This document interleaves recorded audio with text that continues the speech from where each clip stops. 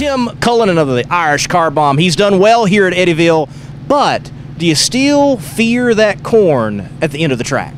Well, it is a short shutdown here, but the corn ain't too high right now, so if we go out there, we're going to blaze right through that field.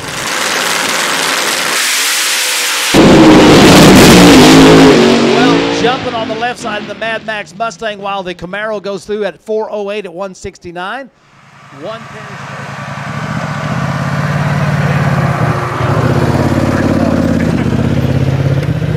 One It was, I was ready to make the turn, and I'm like, it ain't going to make it.